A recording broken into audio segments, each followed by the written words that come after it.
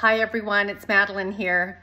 If you are an empath in this world, more than likely you have a pretty hard time being in this world, particularly right now.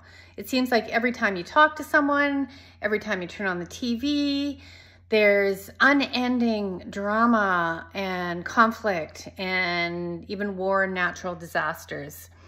And it doesn't look like this is going to stop in the foreseeable future.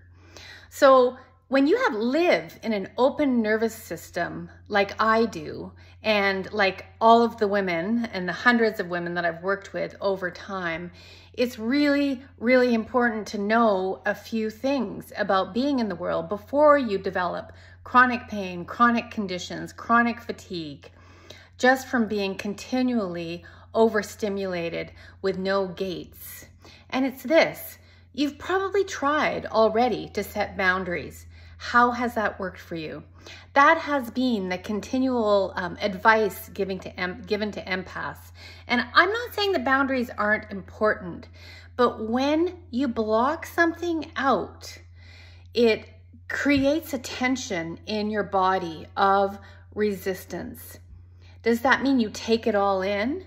No, but there are a few steps to take before that. And then the boundaries almost set themselves. So here's one thing to start practicing. Start being more in your body. Start being more in your breath and in your feet. Because when you start in small ways to actually inhabit your own nervous system, you start to notice, because you're an empath, you start to pick up on things that you may have overridden before, whether it's emotions or tension. And so before you even get to the point of having to set a boundary or being overstimulated, you've already noticed.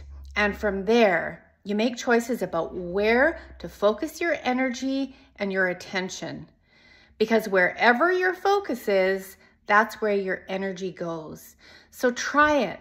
Let me know how it goes or download my empath practice for self-trust and shielding. I'll leave it in the link uh, in my bio and let's get well. Let's get balanced so you can be in this world and help at the level that you are intended to.